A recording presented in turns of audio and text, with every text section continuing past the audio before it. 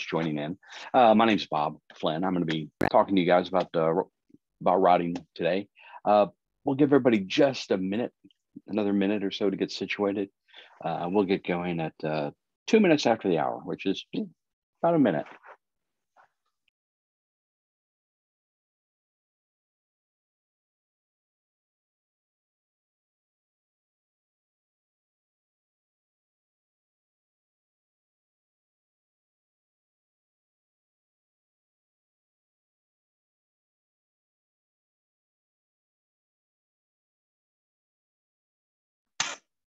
Okay, let's go ahead and kick things off. So again, thanks everybody for joining me this morning. My name is Bob Flynn. I'm a, I'm a technical instructor here at Palo Alto Networks. I've been with Palo Alto for several years now, I think uh, a little over eight years now. And I've been able to see our portfolio grow from basically one product, our Palo Alto Networks next generation firewall to our entire platform. We're to be talking about one piece of that today, or one component or one piece of one component here. We're going to be talking about Prisma Access and routing with Prisma Access. So Prisma Access is part of our SASE solution, our Secure Access Service Edge solution. The idea with this is to prevent a few different things that, that end up um, being problematic when it comes to working with mobile users, people sitting at home, people sitting in an airport, sitting in a hotel, something like that, not inside an office, like many of us are, and uh, trying to get to corporate resources, internet access, things like that. The typical model for that is to have a remote access VPN that leads back to a data center with a huge big firewall or a device that can terminate uh, these remote access VPNs and send them out to the internet or back to talk to a remote office or data center or whatever. And all traffic has to backhaul back to the main data center.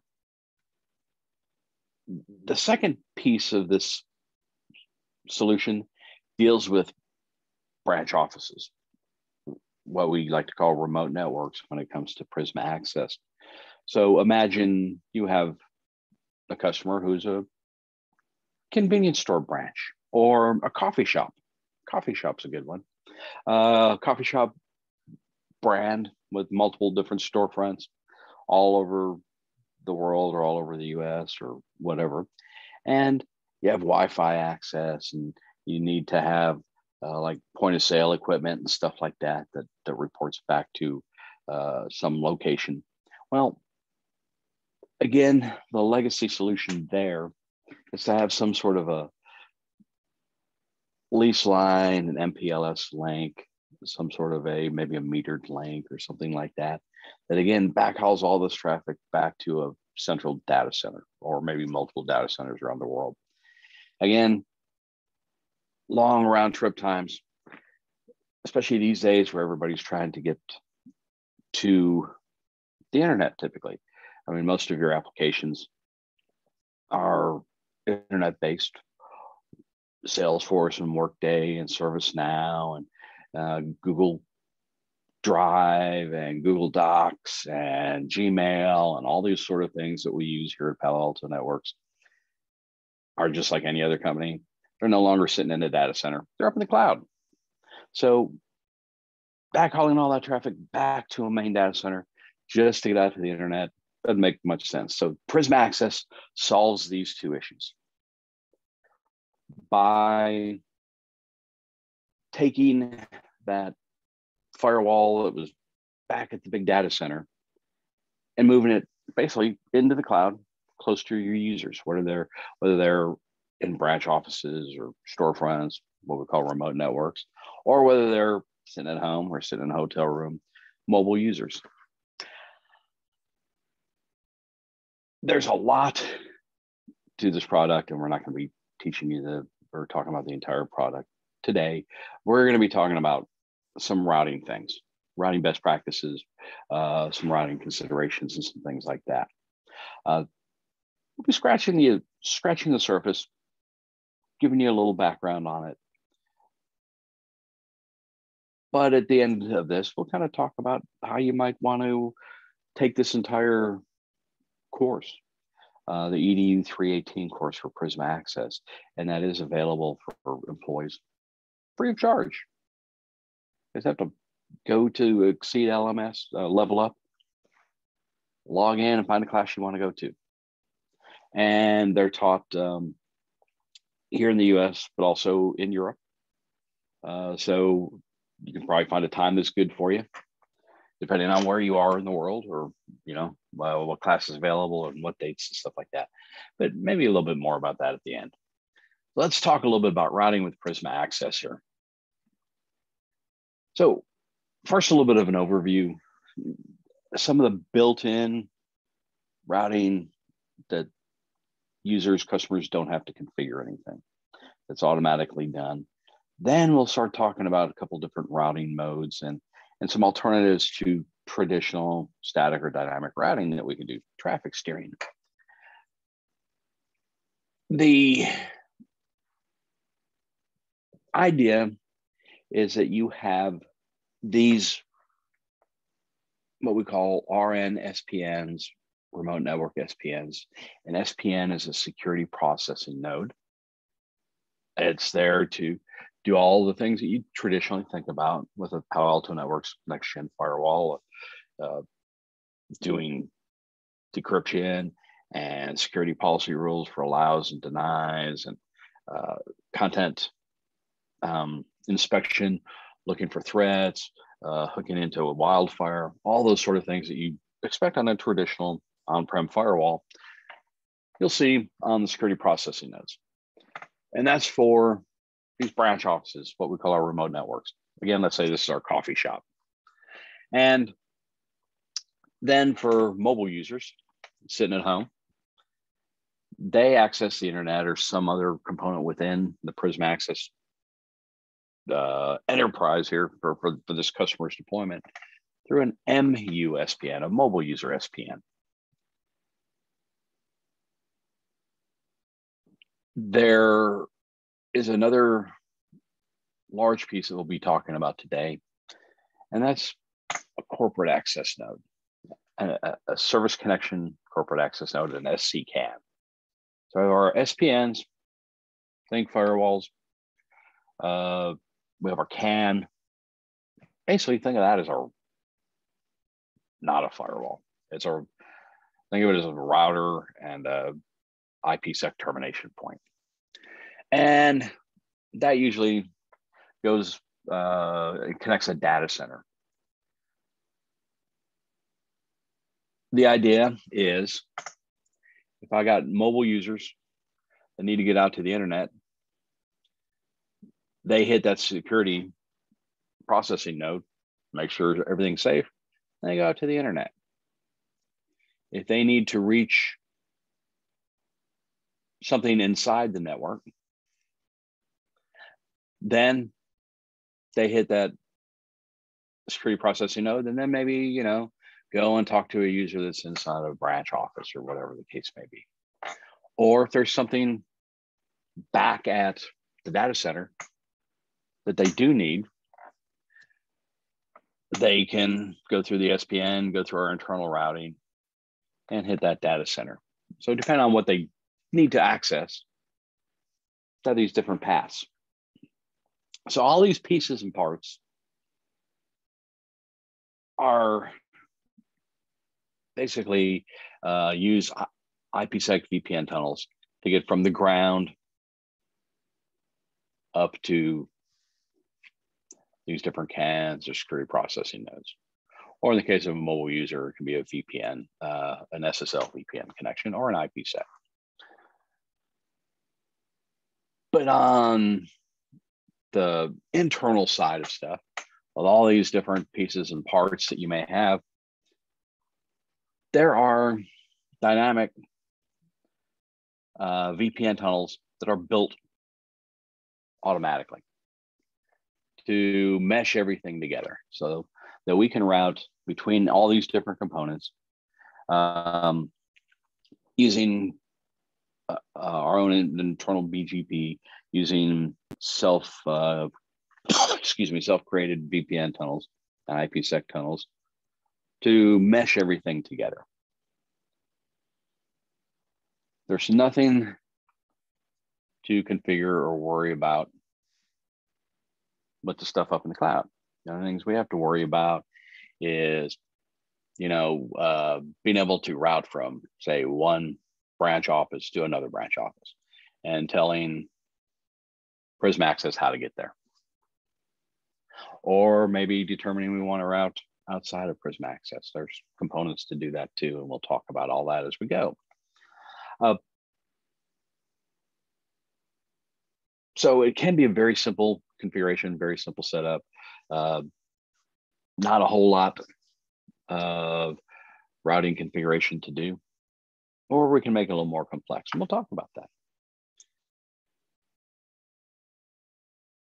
Now, there are some licensing uh, options for Prisma Access that are going to give you the ability to either go straight from a remote network out to uh, the internet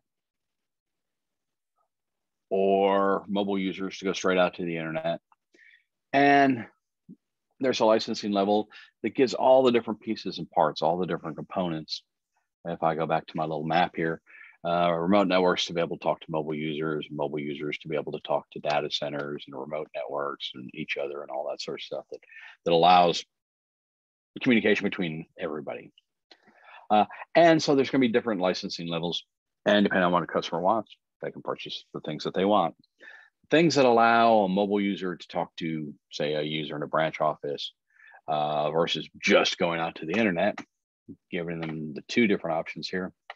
It's called our interconnect, net interconnect, uh, which is part of the enterprise licensing. It's an add-on feature to that.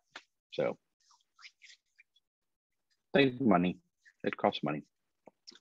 Uh, without the interconnect, then a mobile user can get out to the internet. So can users in a branch office.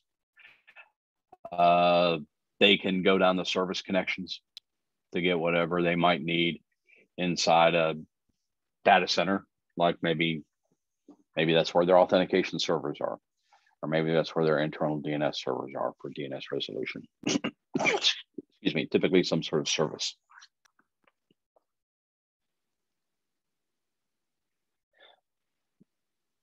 Now, we're going to take the two major components, or, the three major components we're talking about, the corporate access nodes, the CANs, and the remote network SPNs, RNSPNs. Again, for these branch offices, let's pretend these are we're a coffee company chain, and these are these are the storefronts. Um, and everybody's grabbing coffee on the way to work or whatever. Uh, all of the traffic, as I said, with with all the cloud components, uh, can route and take any uh, any route it needs to take um, to transit from, say, point A, uh, branch A to branch B, or back to the data center. Uh, take the fastest path uh, up in the cloud using um, um, gig speed, all that sort of stuff.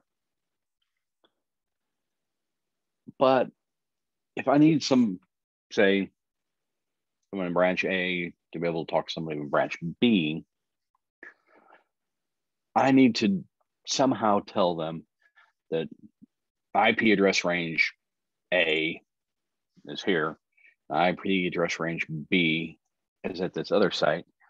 So I know how to talk between IPs ranges A and B, and I know where they live. So I need to use routing to do that.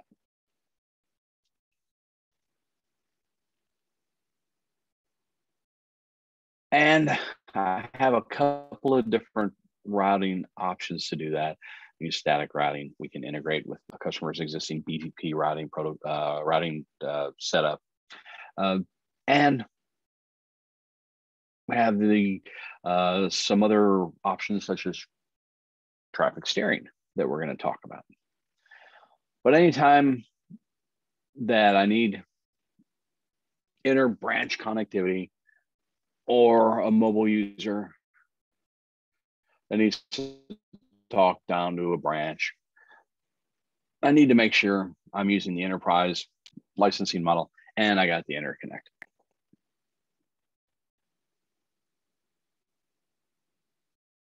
All devices and all users have the ability uh, to connect down to a data center, uh, to that corporate access node, that CAN, uh, and to be able to get in from wherever they are down to whatever might be needed at the, at the branch. The only thing we need to have is just a list of the IP ranges that are available here in the data center. Uh, basically, you can use static routes for that. Uh, but we can get fancy, as I said, use BGP, and we'll talk a little bit about that.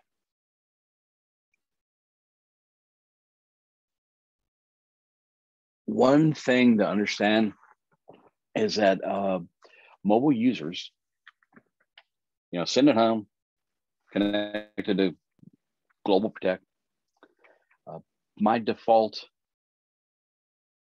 behavior for these mobile user SPNs is to get users through a, a security stack, keep them safe, and take them out to the internet.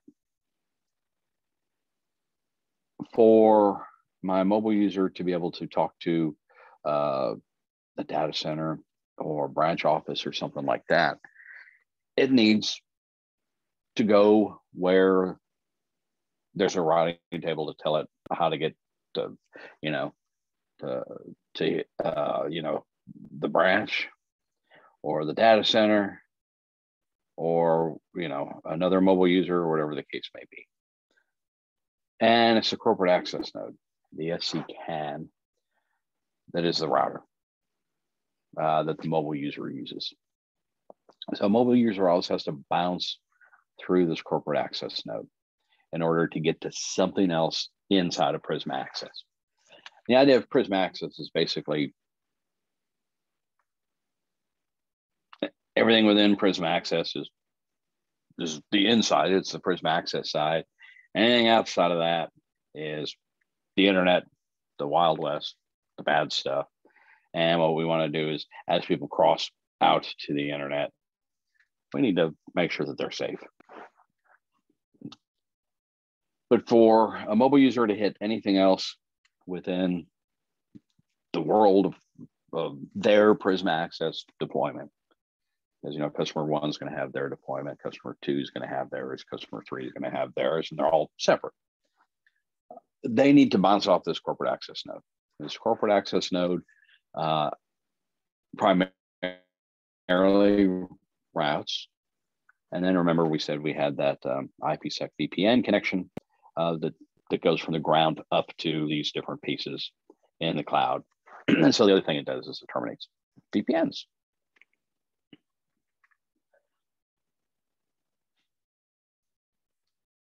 So even if I did not have anything in the data center that anybody needed, and even if I didn't have that tunnel, that service connection, I can still deploy a corporate access node and use it strictly as a router.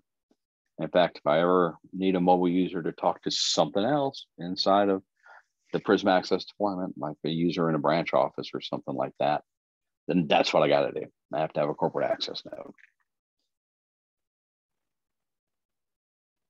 You deploy all these pieces of Prisma Access close to where you need them. Uh, so there are basically uh, eight different regions in the world and several dozen in each location or a few in each location. Uh, getting close to 200 different locations uh, in the world we can do this. And the idea is that let's say i got a branch office in i don't know um, san francisco you know, maybe like I said, it's a coffee store, something like that. And um, there's going to be a location in the cloud close to San Francisco where I can spin up this RNSPN. And let's say I got mobile users sitting in Boston. Uh, there's going to be a location I can spin up this mobile user SPN in New England somewhere, uh, probably Boston. Uh, so the round trip time to get up into Prisma Access is going to be short because we're as close as we can be. And let's say my service connection uh, with the data center, let's say that's in Dallas, Texas. Uh, so I got some stuff on the West Coast, stuff on the East Coast, stuff central to the US. Uh, great. But let's say we got a different situation. Uh, if we got multiple data centers, uh, the devices, uh, whenever they need a routing table, are going to go to the closest one, that closest corporate access node, uh, which is great if you're talking about, all right, we're all sitting here in the in North America. That works out all right. But what if I got a situation where I got that corporate access node acting as my router for my mobile users. And now I got people in North America, you know, like I said, East Coast, West Coast, Central. And I got people in Europe too on the right hand side. So let's say I got a mobile user in, I don't know, Frankfurt, Germany, needs to talk to uh, somebody at a branch office in Paris. Uh, you know, geographically, talking about hundreds of miles apart, not not too far. But uh, my mobile user, in order to get to my branch office, that's you know, 100 miles away, 200 miles away, 300 miles away, is going to end up having to hit this corporate access node all the way back in Dallas in order to find out how to get to that branch office. Well, that ends up being kind of counterproductive. The whole idea of Prisma Access is not to backhaul all the traffic halfway around the world. So one of the cool things I can do when it comes to routing with Prisma Access is I can um, throw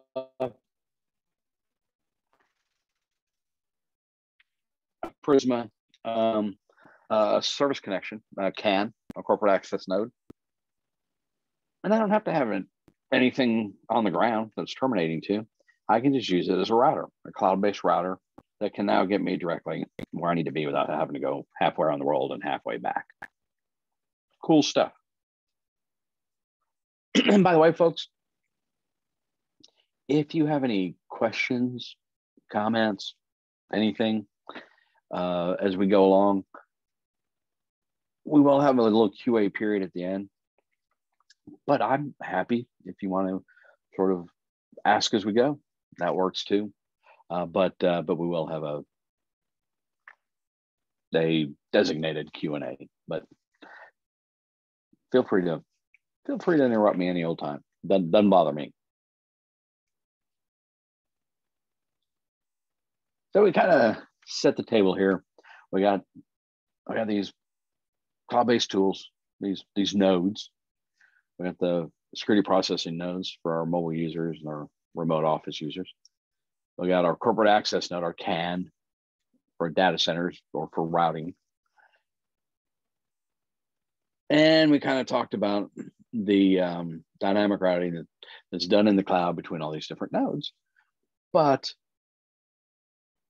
again, remember we have to define what IP ranges are going to be available at these different branches uh, and at the data centers in order for our routers to work and know what's what, what's going on.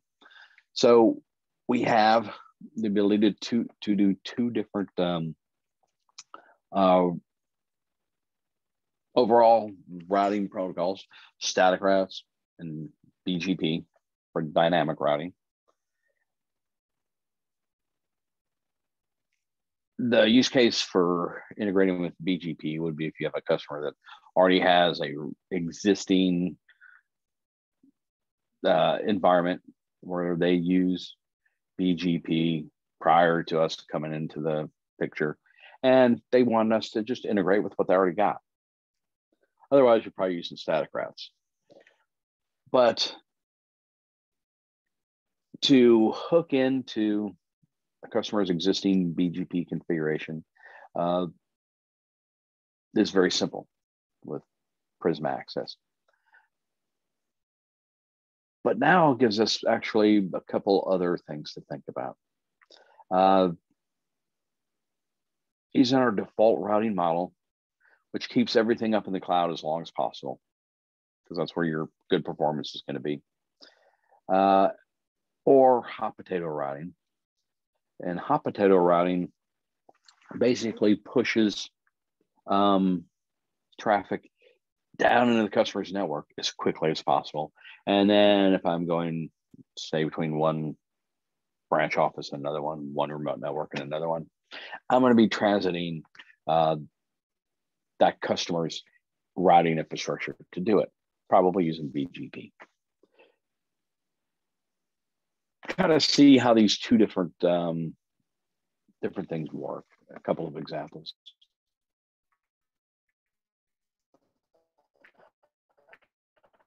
So here I've got um, a uh, traffic on uh, three different um, three different continents. I've got say a remote office in Asia, one in Europe, one in the US, or in SPNs. They have um, data centers, service connections in each region. So I got uh, X, Y, and Z here. If I got a user in a branch office in the US that needs to talk to somebody in, in Europe at another branch office, uh, the default behavior is going to be that I'm going to um, I'm sitting in my branch office. I'm going to hit my remote network, SPN. I'm going to be routed to the European uh, SPN and the corporate access node for routing there. And then I'm going to go to the ground and talk to whoever I need to talk to at the ground there.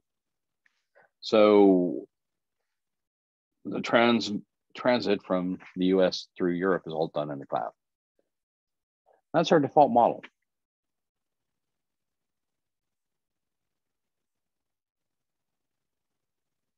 Uh, we'll call COPE, COPE today our, our default routing model. And there's nothing, nothing extra you have to do for all this. But if you're doing hot potato routing, the behavior is going to be a little bit different. So now I'm sitting in my office again. I hit my security processing node, my RNSPN, and I'm headed over here to talk to somebody in Europe. Well, with the hot potato routing, we're going to get into the customer's routing infrastructure as fast as possible. So what happens is I end up going back down my service connection uh, into the data center uh, and routing across the customer's BGP uh, backbone to get to the and then return traffic would follow the same route to keep everything uh, symmetrical. So in the first example, I'm using the cloud. Second example, I'm basically bouncing into the cloud, back down, and across the existing infrastructure. Uh, typically, this would be like some sort of a SD-WAN deployment. Uh, could be ours, Prisma SD WAN. It could be third party. Could be legacy stuff, but they would typically be running BGP. And so each branch, each remote network is going to advertise the IP ranges that are available there. And that's what all these build numbers down here are like uh, one nine, like uh, over here in the US, uh, 192.168.48.0 slash 24. There's a number after that, 65534. That's the AS number for BGP, the autonomous system, uh, basically the, the devices that are going to um, that are going to be participating in BGP. Uh, and we can tie in with the customer's infrastructure, either using static routes or using or integrating into BGP. Um, but static routes, all we do is when we bring up any sort of um, node, in this case, I'm bringing up a service connection. And I give it whatever name I want. I couldn't think of a cool name, so I just called it service connection. Um, I configure all my stuff for my IPsec tunnel to connect to that service connection, that SC CAN. And I can either do static routes or BGP. I can also do QoS, but that's a different conversation. Uh, static routes, I just literally add routes here. You know, like maybe I've got a, a 192, 168, 1.0 slash 20. It's 10.10.1.0 slash 24. Uh, I got some servers that are in the 172.16 networks. So I can put all these different IP ranges here.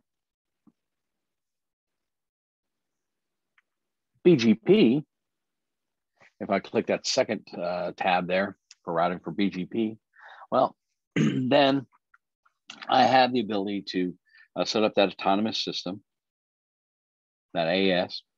Uh, and the idea is you have peers, you have uh, one routing device that talks to another routing device. And uh, they will create typically a um, secure connection to do that. Uh, you're going to have um, they're going to have addresses, peer addresses, and say, hey, this is the guy I talked to. This is the device I talked to, and know, their device can be peered with me, and usually something else too. You know, usually usually peering between something upstream and downstream, and any sort of um, secrets, i.e., passwords and stuff like that that you want. Uh, there are some other options, advanced options when it comes to BGP, uh, dealing with uh, which way you want to advertise uh, routes, just in one direction or another direction, uh, and some things like that that that are part of a conversation about BGP in general.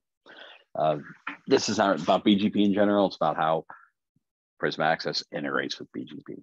And so the integration is relatively simple. Uh, once you are integrated and connected into your customer's BGP integration, um, you're you can go to the status tab in Panorama, or go, it's actually the Panorama tab, but you go into the status section there, and there is a whole um, screen uh, showing your BGP uh, status and you can see the peer IP addresses and the autonomous systems, the ASs. Uh, you can see what the community um, string that we are advertising. Uh, you can see the updates coming in and all kinds of details such as that. But the use case for using BGP is your customer's already got all this set up. And all we want to do is integrate in there and become part of it. So all we have to do is hook into what they already have and become a participant in it. Otherwise, we just use the static routes. And there's no call to be a BGP expert or anything to be able to do this. Um, customer, if they're using BGP, they're probably pretty good at it, or they've hired an expert to do it for them. Uh, in which case, all you're doing is hooking into their stuff, figuring out what the peer AS is and peer IDs, all that sort of stuff, or peer addresses. So pretty, pretty simple. So all of this is using routes. And when you're routing, whether it's static routes or BGP, uh, dynamic routing, you are routing based upon the destination IP address that you're headed to. So if we look at a packet on layer three of the OSI model, it's got a packet header. The packet header has source IP, source port, destination IP, destination port, and protocol, TCP or UDP. Um, we're looking at the destination IP address. Saying, okay, I'm coming from this IP address and I'm trying to go to google.com. Uh, so the destination address in my packet header is going to be an address for google.com. With traffic steering, all of a sudden we can look at other stuff besides just the destination IP address to make a decision as to what direction or how to get to where we need to go. And we had the ability to um, look at things uh, such as IPs, source or destination now. We can look at port numbers. Uh, we can look at app IDs, as you know, Palo Alto Networks. We layer seven app IDs. Um, we look at users, and we can make decisions on forwarding traffic one way or another. In other words, you know, maybe using uh, maybe uh, using static routes to get from branch A to branch B, using dynamic routing to get to uh, the data center and halfway around the world, and going straight out the internet for other stuff. And it's just a matter of um, telling us how you want to treat this traffic using these traffic steering rules. Um, oh, I'm going the wrong way here. Yeah, here we go. Um, so we use traffic forwarding rules in order to set up this traffic steering. If we want to use information other than just a destination address, this is how we can do it. When would you do this? Well, as I said, if you need different traffic to go to different places based on something other than just the destination address, this gives you that ability. So for instance, you know, my mobile users, uh, when they go through their MUSPN and their Prisma Access, by default, they're headed out to the internet. So if I had uh, some traffic that needed to go back to headquarters, go back to a data center, I need to define that traffic. Well, typically I can just define it by the destination IP address. Is it destined to headquarters? It goes to headquarters. But let's say it's something that ultimately goes out to the internet. So, like, uh, yeah, I'm using Google. I'm gonna um, up my browser, go to Google, and search for something, uh, some movie I want to go see, or you know, whatever, some news article or whatever. I'm gonna do Google search for it. well, typically, it's gonna go this way. But what I could say is, you know what? If it's web browsing traffic, I want to first send it back to headquarters through, say, my existing firewall uh, before I send it out to the internet. Well, I couldn't do that with routing because my destination IP is going to point this way. Uh, so I got to use something else. So I can use traffic steering to look at the ports or the application and say, yeah, that's stuff I want to send this way. Which now gives me the ability to have some traffic go to headquarters before it goes out to the internet. Other traffic goes straight out to the internet. So as I was saying, there's lots of different uh, match criteria we can use. Source IPs, user IDs, so source user, and we map an IP address to a user. Uh, destination IPs, which is basically just regular routing.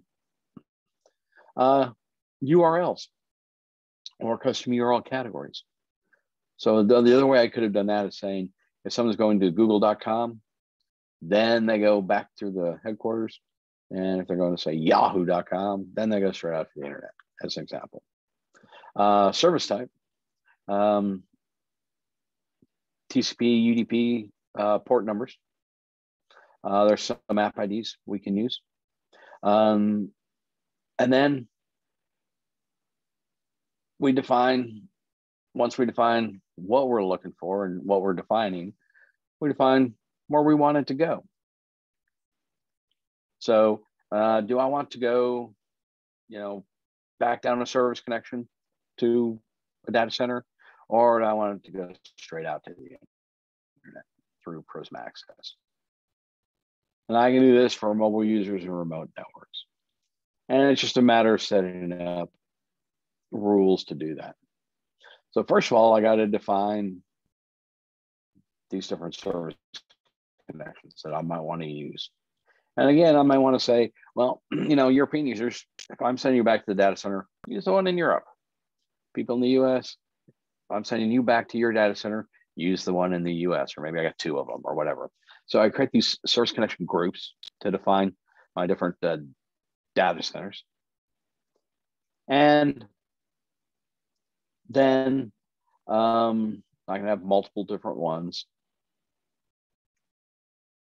And then I define what sort of traffic I'm going to be looking for.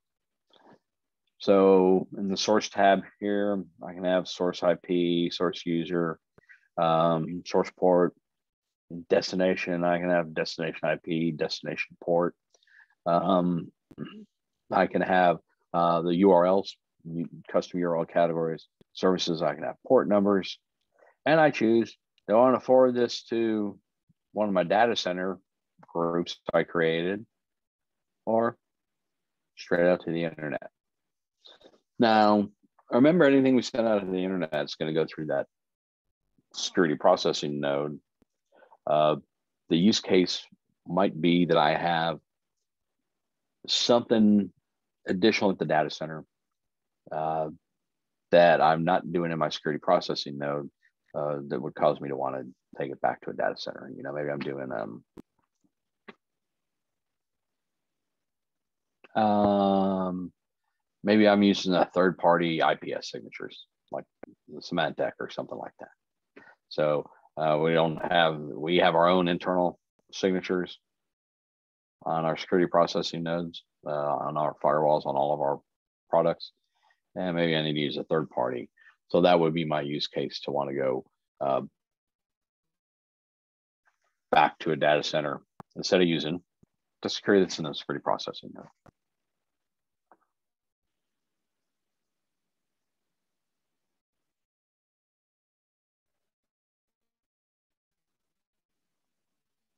Any case, um, you create these rules, these traffic steering rules, define the traffic in which way you want to put them, and they can be pretty simple, or you can stack together multiple ones for all kinds of different things.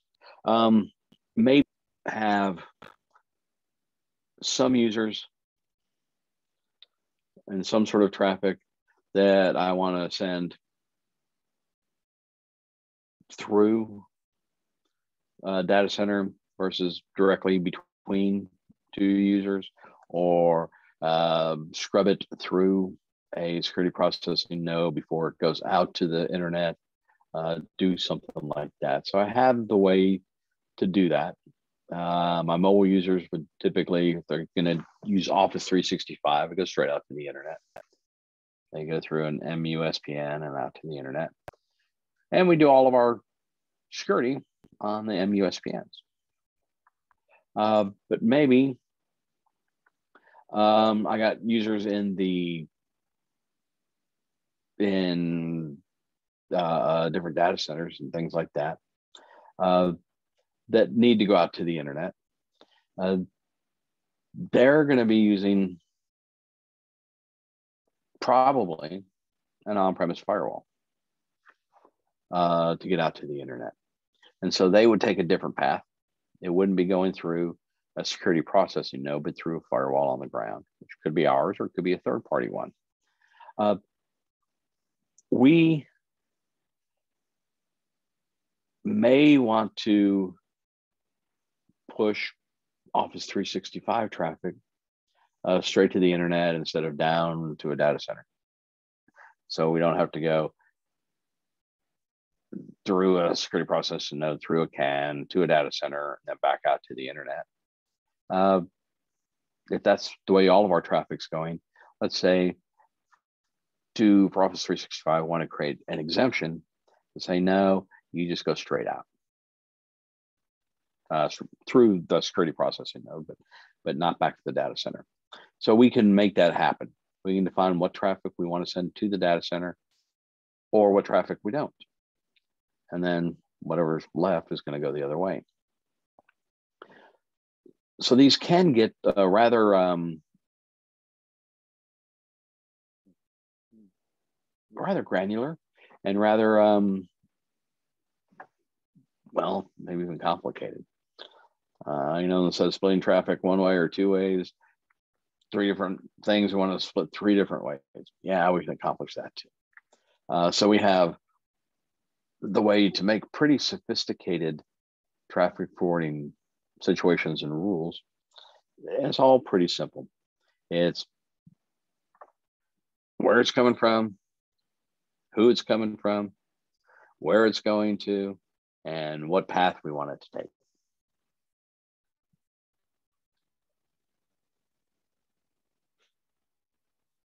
Uh, it's a matter of having multiple traffic forwarding rules to do that. And this is an example. We got three of them. We got some traffic uh, going straight out to the internet through a SPN. We got some traffic going down to a data center through a firewall back out to the internet. And, and then we got some SaaS applications that we are uh, pushing a different path to get to.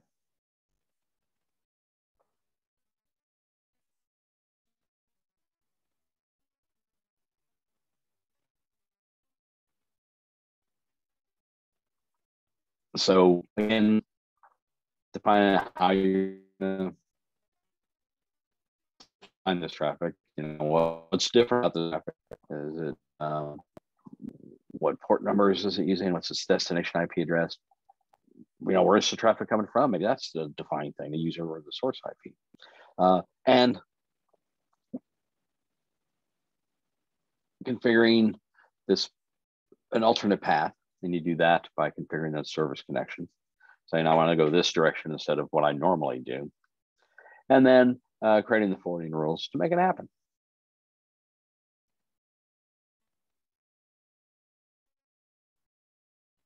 But by default, anything is going to go through our stuff in Prisma Access, through those security processing nodes, and through the corporate access nodes, depending on where the traffic's headed.